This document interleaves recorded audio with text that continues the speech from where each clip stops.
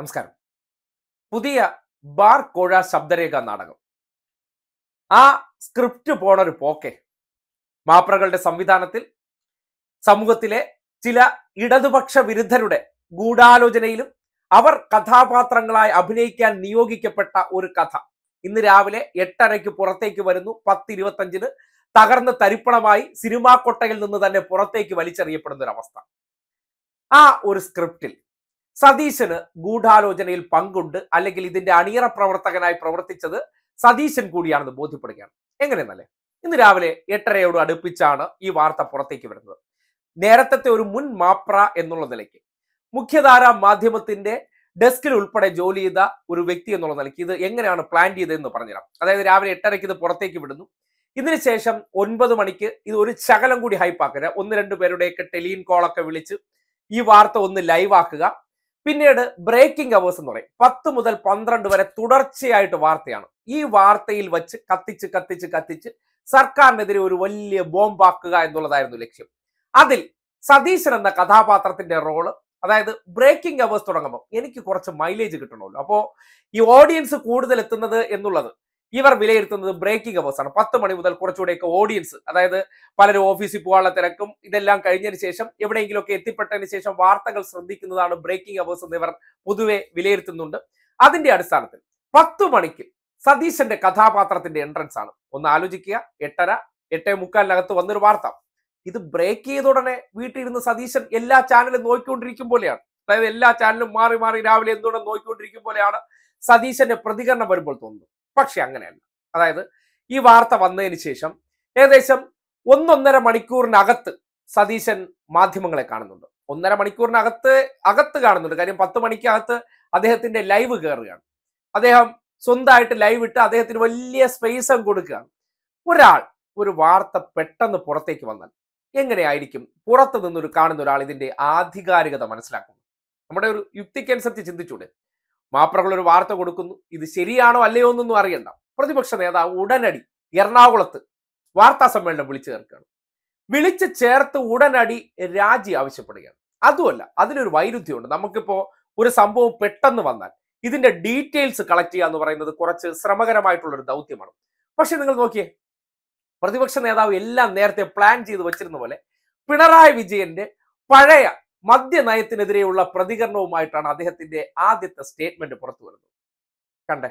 രണ്ടായിരത്തി പതിനാറ് ഏപ്രിൽ പതിനെട്ടിന് സി പി എം സംസ്ഥാന സെക്രട്ടറിയായ പിണറായി വിജയന്റെ ഒരു ഫേസ്ബുക്ക് പോസ്റ്റ് ഉണ്ട്. കൂടുതൽ ഹോട്ടലുകൾക്ക് ബാർ ലൈസൻസ് നൽകിയ തീരുമാനം മദ്യനിരോധനം സാധ്യമാക്കാനുള്ളതാണോ എന്ന് ഉമ്മൻചാണ്ടി വ്യക്തമാക്കണം. യു ഡി എഫിന്റെ മദ്യനയം തട്ടിപ്പാണ്. ബാർ കോളേജിൽ കുടുങ്ങിയൊരു മന്ത്രിക്ക് രാജിവെക്കേണ്ടി വന്ന കാപട്യമാണ്. മദ്യനയം എന്ന പേരിൽ യു ഡി എഫ് അവതരിപ്പിക്കുന്നത്. മദ്യം എന്ന വിപത്തിനെ ചെറുക്കാനും ജനങ്ങളെ മദ്യത്തിന്റെ പിടിയിൽ നിന്ന് മോചിപ്പിക്കാനുമുള്ള നിശ്ചയദാർഢ്യം ഇടതുപക്ഷത്തിനാണ് ഉള്ളത്. എന്നിട്ടൊരു ഒരു ഉറപ്പും കൂടി നൽകുന്നുണ്ട്.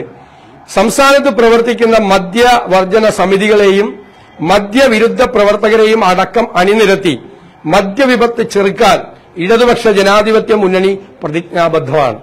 എൽ ഡി എഫ് വരും എല്ലാം ശരിയാവും. മദ്യവർജന സമിതികളെയും മദ്യവിരുദ്ധ സമിതികളെയും പങ്കെടുപ്പിച്ചുകൊണ്ട് മദ്യവ്യാപനം തടയാൻ വേണ്ടി ഇടതുപക്ഷ മുന്നണി മുന്നിൽ നിൽക്കും എൽ ഡി എഫ് വരും എല്ലാം ശരിയാവും. കണ്ടല്ലോ? രണ്ടായിരത്തി പതിനാറ് പതിനഞ്ച് പതിനാല് കാലഘട്ടത്തിലുള്ള ഫേസ്ബുക്ക് പോസ്റ്റാണ്. അതിനെ തപ്പിയെടുക്കണമെങ്കിൽ തന്നെ എത്ര സമയം വേണം? രണ്ടായിരത്തി ഇരുപത്തിനാലാണ്.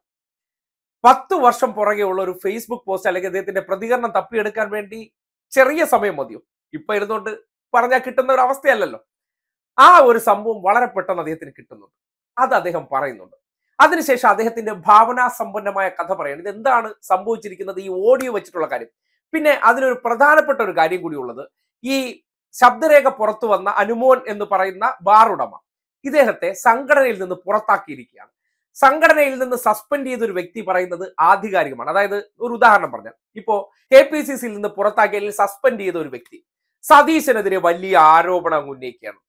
എന്തായിരിക്കും സതീശൻ പറയുന്നത്? അത് പുറത്താക്കിയതിന്റെ അടിസ്ഥാനത്തിൽ ഒരാൾക്കുണ്ടായിരിക്കുന്ന രീതി കൊണ്ട് പറയുന്നതായിരിക്കുമല്ലോ. പക്ഷെ ഇവിടെ ആ പ്രയോറിറ്റി ഒന്നുമില്ല. പുറത്താക്കിയ ആൾ പറഞ്ഞാലും നമ്മൾ വിശ്വസിക്കണം. അതിനെ സംബന്ധിച്ച് സതീശൻ ഉണ്ടാക്കുന്ന കഥയൊന്ന് കേട്ടെ. എന്തായാലും ഇതിന്റെ പേരിൽ ഒരു പണപ്പിരിവ് നടക്കുന്ന കാര്യം വളരെ വ്യക്തമാണല്ലോ. ക്ലിയറാണ് സംഘടനയുടെ ഒരു ജില്ലാ പ്രസിഡന്റാണ് പറഞ്ഞിരിക്കുന്നത്. അവരുടെ യോഗം നടന്ന സ്ഥലത്ത് നിന്ന് കൊടുത്തിരിക്കുന്ന മെസ്സേജാണ് വളരെ വ്യക്തമാണ്. നിഷേധിക്കാൻ പറ്റില്ല. ആൾ അറിയ അറിയപ്പെടുന്ന ആളാണ്. അറിയാൻ പാടില്ലാത്ത ഒരാളൊന്നുമല്ല. അറിയാൻ പാടില്ലാത്ത ആളൊന്നുമല്ല ഇത് പറഞ്ഞിരിക്കും ഉത്തരവാദിത്തപ്പെട്ട ഒരാളാണ്. അവരുടെ സംഘടനയുമായി ബന്ധപ്പെട്ട ഉത്തരവാദിത്തപ്പെട്ട ഒരാളാണ് പറഞ്ഞിരിക്കുന്നത്. ഇതിന്റെ പ്രശ്നം എന്ന് വെച്ചാൽ പണത്തിന്റെ പിരിവ് നടക്കുന്നുണ്ട്. ഇത് ചെയ്തു കൊടുക്കുക എന്നുള്ള കണ്ടീഷനിൽ അതാണ് സംഭവം. ഒരു ഫേവർ ചെയ്യാൻ വേണ്ടിയിട്ട് പണം കളക്ട് ചെയ്തുകൊണ്ടിരിക്കുകയാണ്. അത് പറയുന്നുണ്ടല്ല. നമ്മളിത് കൊടുത്താലേ ഇത് ശരിയാവുള്ളൂ ഇല്ലെങ്കിൽ കിട്ടൂല വേറെ ആരും നമ്മളെ സഹായിക്കാൻ ഇത് കൊടുത്താലും നടക്കുള്ളൂ എന്നാണ് വളരെ കൃത്യമായിട്ട് അതിനകത്ത് ആ സംഭാഷണം മുഴുവൻ കേട്ട് കഴിഞ്ഞാൽ അറിയാം. പണം കൊടുക്കാതെ കാര്യം നടക്കില്ല. പണം കൊടുത്തേ മതിയാവും എന്നാണ് പറഞ്ഞിരിക്കുന്നത്. ഇതിനേക്കാൾ വലിയ തെളിവ് വേറെ എന്താ പണ പിരിവടത്തിന് അല്ല മന്ത്രിയുടെ ഫസ്റ്റ് റെസ്പോൺസ് എന്ന് പറയുന്നത് മദ്യനയത്തിന്റെ പ്രാരംഭ മാത്രമേ നടന്നിട്ടുള്ളൂ. അതിനു മുമ്പ് ഇങ്ങനൊരു സന്ദേശം പുറത്തു വന്നിട്ടുണ്ടെങ്കിൽ എന്തെങ്കിലും ഗൂഢാലോചന ഉണ്ടാകുന്നതാണ് മന്ത്രിയുടെ ഫസ്റ്റ് റെസ്പോൺസ് അല്ല ഇത് ചെയ്തു ഈ പണം കൊടുത്താലേ ഇത് ചെയ്തു കൊടുക്കുള്ളൂ. എന്നാണ് അവർ പറയുന്നത്. അപ്പൊ അവർക്ക് ഉറപ്പ് കൊടുത്തിട്ടുണ്ട്. നിങ്ങൾ പണം കൊടുത്തു കഴിഞ്ഞാൽ ഇത് തന്നേക്കാമെന്ന് പെരുമാറ്റച്ചട്ടം കഴിഞ്ഞാൽ ഈ- മതേ ഇതിപ്പോ വേറെ ഒന്നുമില്ല റൂൾസ് ഫ്രെയിം ചെയ്ത് ഇവിടെ വെക്കേണ്ട ആവശ്യം മാത്രമേ ഉള്ളൂ. ഹൗസിൽ വെക്കേണ്ട ആവശ്യം മാത്രമേ ഉള്ളൂ. ഭൂരിപക്ഷം ഉള്ളതല്ലേ ഗവൺമെന്റിന്? അത്രയേ ഉള്ളൂ. അത് ചെയ്തു കൊടുക്കാന്നാണ് പറഞ്ഞിരിക്കുന്നത്. ചെയ്തു കൊടുക്കാന്നുള്ള ഉറപ്പും മേലാണ്. ചർച്ച ഇങ്ങനെ നിൽക്കുന്നു. അങ്ങനല്ലേ? കോഴ പേടിക്കുന്നു. ചെയ്തു കൊടുത്താൽ ചിലപ്പോൾ ഒരു പൈസ കൊടുത്തില്ലെങ്കിൽ അവർ അവർ പറഞ്ഞിരിക്കുന്നത് അതല്ലേ. ഇത് ചെയ്താലേ നമുക്കിത് നടപ്പായി കിട്ടുള്ളൂ. ഇത് ഉടനെ നമുക്ക് ഈ പെരുമാറ്റച്ചട്ടം പിൻവലിച്ചാൽ ഉടനെ നമുക്ക് അനുകൂലമായ തീരുമാനം ഉണ്ടാവും. അതിന് നമ്മൾ ഈ പണം എല്ലാവരും കൊടുക്കണം. ഇരുപത് കോടി രൂപയാണ് കളക്ട് ചെയ്ത് കൊടുക്കേണ്ടത്. എണ്ണൂറ്റിയൊന്ന് ബാറുകൾ കൂടി. ഓരോരുത്തർ രണ്ടര ലക്ഷം രൂപ വെച്ചിട്ട്. കൃത്യമായ കോഴയല്ലേ കോഴ ഇടപാടല്ലേ? അല്ലാതെ അവർ വെറുതെ ഇരിക്കുവാണ് ആണല്ലോ. അല്ലെങ്കിൽ പിന്നെ അവർക്ക് കൊടുത്തിരിക്കുന്ന ഉറപ്പിന്റെ പുറത്തല്ലാതെ അവരെങ്ങനെ പൈസ പിരിക്കുക? അവരല്ലാതെ പൈസ പിരിക്കാൻ അവർക്ക് പറ്റും അവർക്ക് ഉത്തരവാദിത്തമുള്ളതല്ലേ? അവരുടെ അംഗങ്ങളോട് ഉത്തരവാദിത്തമുള്ളതല്ലേ? വെറുതെ പൈസ പിരിക്കാൻ പറ്റുമോ അവർക്ക്? വെറുതെ ഇല്ലാത്തൊരു കാര്യത്തിന് വേണ്ടി പൈസ പിരിക്കാൻ പറ്റുമോ? ഒരു കാര്യം ചെയ്തു തരാം അതിന് പണം കൊടുത്തേ മതിയാവും. അതുകൊണ്ട് നിങ്ങൾ എല്ലാവരും പൈസ കളക്ട് ചെയ്ത് എത്രയും പെട്ടെന്ന് രണ്ടു ദിവസത്തിനുള്ളിൽ പൈസ കളക്ട് ചെയ്തിട്ടുണ്ടെന്ന് പറയാം കാരണം കുറച്ച് ദിവസമല്ലേ ഉള്ളു. ഈ പെരുമാറ്റച്ചട്ടം മാറാൻ വേണ്ടിയിട്ട്. അപ്പൊ കൊണ്ടേ കൊടുത്തു കഴിഞ്ഞാൽ ആ പെരുമാറ്റച്ചട്ടം മാറി അവർക്ക് അത് ചെയ്യാം. അവിടെയും തീർന്നില്ല. സതീശിനോട് വരുന്നൊരു ചോദ്യമുണ്ട്. അതായത് സതീശിനോട് വരുന്നൊരു ചോദ്യമുണ്ട്. അതായത് ഈ ബാർ അസോസിയേഷന്റെ സംസ്ഥാന പ്രസിഡന്റ് ഇതിപ്പോ നിഷേധിച്ചിട്ടുണ്ടല്ലോ. എന്താണ് അഭിപ്രായം എന്ന് ചോദിക്കുമ്പോഴും വളരെ വിചിത്രമാണ് മറുപടി. ബിൽഡിംഗ് ഫണ്ടിനെ സംബന്ധിച്ച് എല്ലാ ജില്ലാ കമ്മിറ്റിയുമാണ് ബന്ധപ്പെട്ട് പൈസ പിരിച്ചു തരുന്നത്. ബിൽഡിംഗ് ഫണ്ട് പിരിച്ചു തരുന്നത് ജില്ലാ കമ്മിറ്റികളാണ്.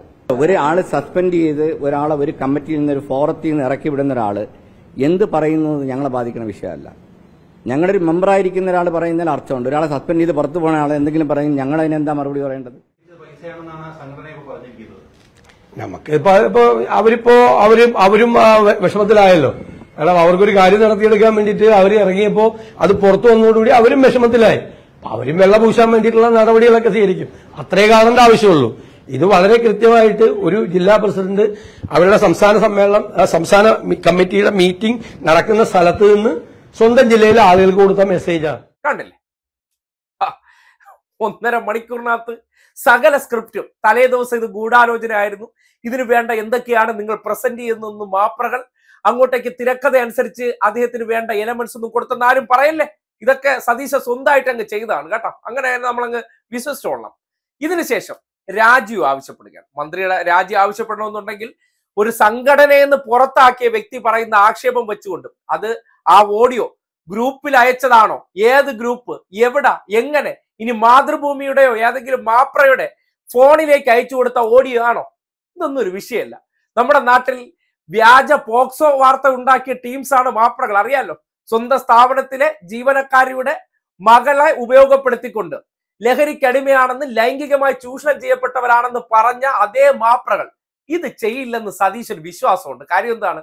സതീശൻ വിചാരിക്കണം നാളെ ഞാൻ മുഖ്യമന്ത്രിയാകണം ഇവരുടെ തോളിലേറിയതുകൊണ്ടാണ്. അതുകൊണ്ടാണ് സതീശൻ അവർക്ക് വേണ്ടി തന്നെ ഇങ്ങനെ ഒരു ആരോപണം പുറത്തേക്ക് വരുമ്പോൾ തിരിഞ്ഞും പിരിഞ്ഞും നോക്കാതെ രാജേഷിന്റെ രാജി വേണമെന്നുള്ളൊരു ആവശ്യം ഉന്നയിക്കുന്നത് അല്ല ആദ്യം മന്ത്രി മാറി എന്ന് അന്വേഷിക്കട്ടെ. മന്ത്രി മന്ത്രി രാജിവെച്ച് പുറത്തു നിന്നുണ്ട് അന്വേഷിക്കട്ടെ. അതാണല്ലോ വേണ്ടത്. അന്നത്തെ അന്വേഷിക്കട്ടെ. അന്ന- അന്ന- അന്വേഷണം ഒരു സമഗ്രമായ ഒരു അന്വേഷണം നടത്തട്ടെ ഇക്കാര്യത്തെ സംബന്ധിച്ച്. എന്താണ് ചെയ്തതെന്ന് അന്വേഷിക്കട്ടെ. എന്തായാലും ഇതിന്റെ പേരിൽ ഒരു പണപ്പിരിവ് നടക്കുന്ന കാര്യം വളരെ വ്യക്തമാണല്ലോ ശക്തമായ രീതിയിലാണ് ഇടതുമുന്നണിയുടെ ആ, സംഘടനാ സംവിധാനങ്ങളെല്ലാം പ്രവർത്തിച്ചത് അത്തരത്തിലൊരു പിന്നെ പ്രതിഷേധം അത് ഉറപ്പായിട്ട് വരുമല്ലേ ഇപ്പൊ ഇന്നലെ വന്നത്. ഇന്നലെ അല്ലേ ഇത് വന്നത്. ഇന്ന് രാവിലെ അല്ലേ ഇത് വന്നത്. അപ്പൊ നമ്മൾ ആദ്യം ആവശ്യപ്പെടുന്നത് എക്സൈസ് മന്ത്രിയുടെ രാജിയാണ്. ആദ്യ രാജി. അല്ലെങ്കിൽ അദ്ദേഹത്തെ മന്ത്രിസഭയിൽ നിന്ന് പുറത്താക്കണം. ഞങ്ങൾ ആവശ്യപ്പെടുകയാണ് ഞങ്ങൾ സമരപരിപാടിയായിട്ട് രംഗത്തിറങ്ങും. സതീശ ഒറ്റ കാര്യമേ പറയുന്നുള്ളൂ.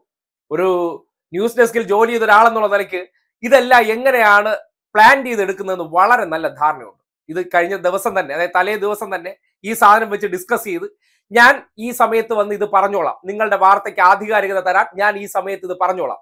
അതിന് വഴിയുണ്ട്. മാതൃഭൂമിക്ക് വേണ്ടിയോ അല്ലെങ്കിൽ ആർക്ക് വേണ്ടിയായിരുന്നാലും നിങ്ങൾ അത് ചെയ്തു കൊടുക്കാനുള്ള കാരണം എന്ന് പറഞ്ഞാൽ നിങ്ങൾക്ക് പ്രസ് സെക്രട്ടറിമാരായിരിക്കുന്ന വ്യക്തികളെയൊക്കെ അറിയാമല്ലോ അല്ലെ?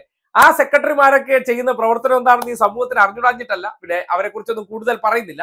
അപ്പോ നിങ്ങൾ ചെയ്തുകൊണ്ടിരിക്കുന്ന പ്രവർത്തനം ഒരുമാതിരി തെമ്മാടിത്തരമാണ്. പറയാതിരിക്കാൻ ഒരു നിർവാഹമില്ല ഒരു പ്രതിപക്ഷ നേതാവ് എന്ന് പറഞ്ഞാൽ വാർത്ത പ്ലാൻ ചെയ്ത് അതിനനുസരിച്ച് സർക്കാരിനെതിരെ എല്ലാ ദിവസവും വാർത്ത നിലനിർത്താം ഇത് ചെയ്യലല്ല അന്തസ്സുള്ള പണി.